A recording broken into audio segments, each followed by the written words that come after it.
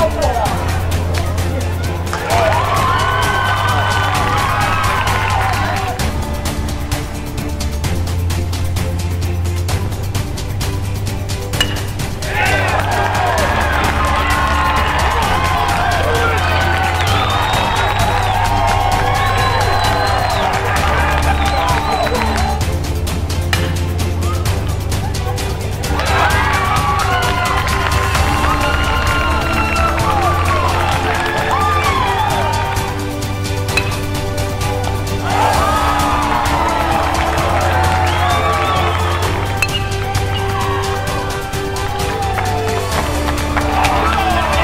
Guys really responded. We got down one nothing, and the guys came fighting right back.